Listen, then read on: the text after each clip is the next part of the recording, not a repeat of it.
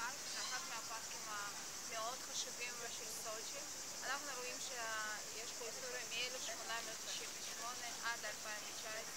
יש לנו בטבלה את כל האנשים שהקימו ובנו ושיפצו את הפארק הזה. אה, יש פה הרבה דברים אה, לעשות של ילדים, יש פה דקטינרים בכניסה, אה, יש המון מקומות לצילום ואטרקציות